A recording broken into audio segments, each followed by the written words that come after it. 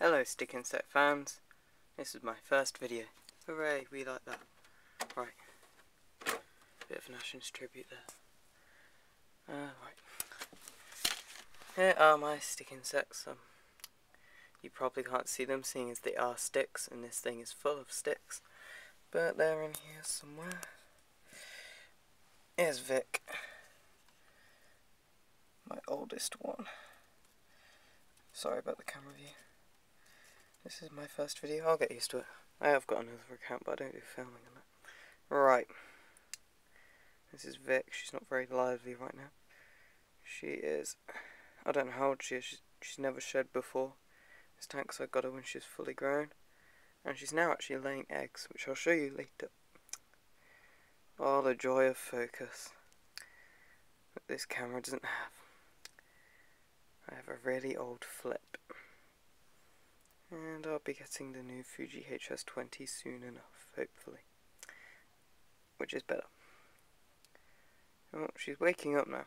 Anyway, I've had her for quite a while. She's laying eggs. She's fully grown. She's an Indian stick insect. And for those who are wondering, yes, she is named after the drumsticks, Vic Firth. Because I am a drummer. Which is awesome. Right. The others are in here.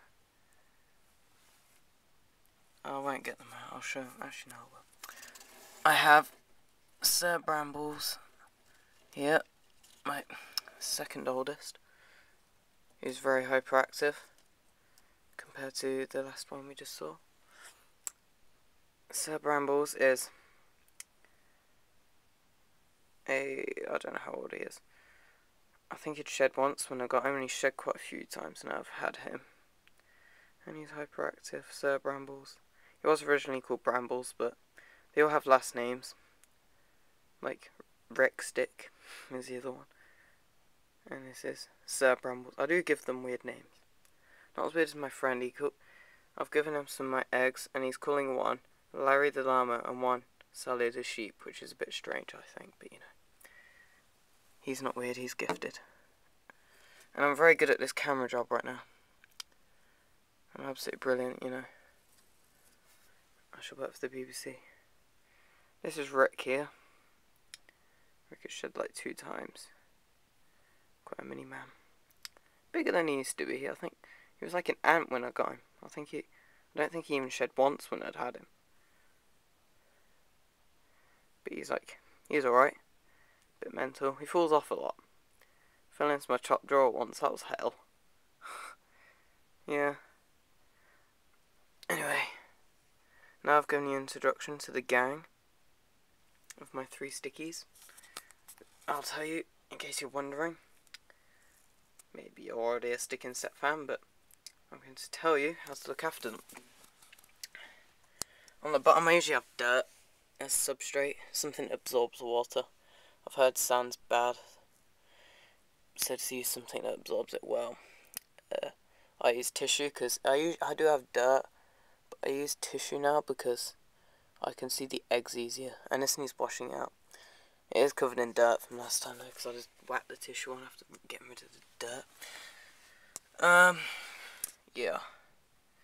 And now I have ivy, you can have privet, you can have oak, you can have brambles. Brambles are the best I've heard, but I did have brambles, but they're a pain in the bum when you're trying to get a stick insect out the bottom, and they're ripping your hands apart. It's really, really annoying. So I wouldn't recommend using brambles. Well, I would actually, because they're healthy, but well, it depends on preferences. I use ivy. It's just easier, and it looks kind of cool. I have an oasis here, which is just this sponge thing, and have it in a pot. And I stab these into it, and you just fill it with water. You sort of spray it with water. I have. Where is my squirty? This is my squirty thing. You have to spray them twice daily. I've already sprayed them, but I'll just do it for an example anyway. Just get set. Oh, my number plate. Hooray! Right, um, if you're wondering about that, I found it. Um, right. You spray it like this. It's very simple. You do that. I do it twice daily because it gets a bit dry during the night. And then um, what I I usually do as well is I got put on stream mode. Because this thing's extremely posh, you know. People pay millions for this. And I squirt the Oasis. Simples. Now if you see them shedding, do not disturb them. Because that's the last thing you want to do, because it can kill them.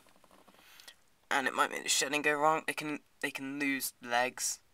As long as they have some legs, at least they have. They, they're very... As long as they have legs, they're fine. If they have one leg, obviously there's something wrong. And they might not be able to lift, but, you know. Um, that's pretty much it. Wait, I need to in memory of Pritt Stick. So, um, he was my one of my stick insects that I got with Vic, and he he died a painful death. He didn't have very good coordination, and he fell off one too many branches. Forget about these; these were when they were younger.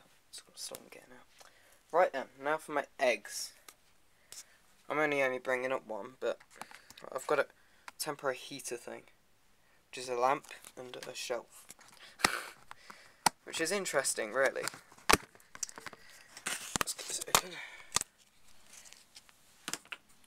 Um, I'm getting a heater. Wait for the white balance to kick in. That stuff. Let's just take these off for a second.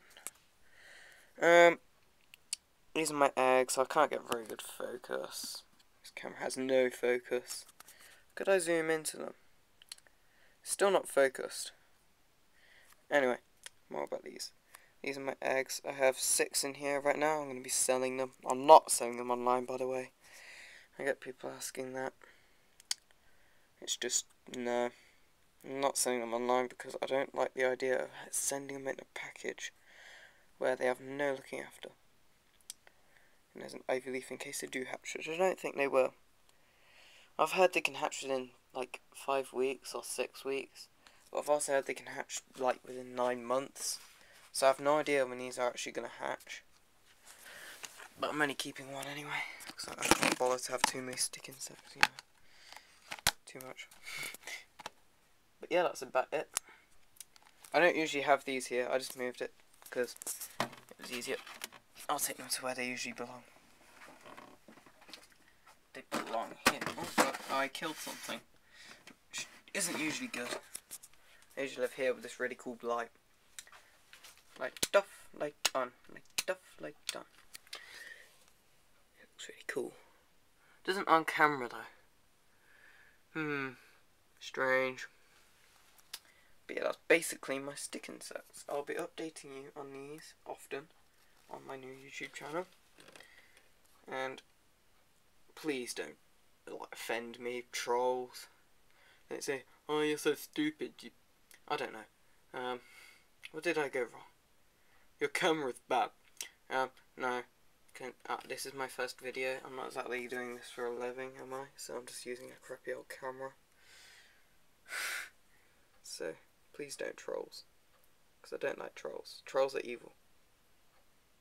And I don't know why I'm still filming it. Because this is just going to attract trolls, just sitting here filming it talking about trolls. So I should stop talking about trolls and actually end the video. So goodbye.